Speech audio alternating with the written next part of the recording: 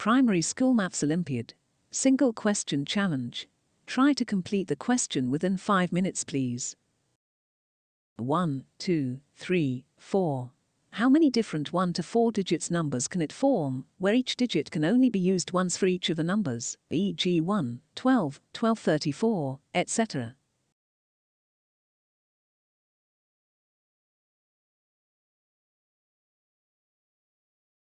Here is the recommended answer. Total different numbers can be formed equals number of one-digit numbers plus number of two digits numbers plus number of three digits numbers plus number of four digits numbers. Given the order within the number matter, thus we use the permutation of 4 for one digit, 2 digits, 3 digits and 4 digits to calculate the answer. The total different number formed equals 4 plus 12 plus 24 plus 24. The answer is 64. Thank you for watching. Please like and subscribe.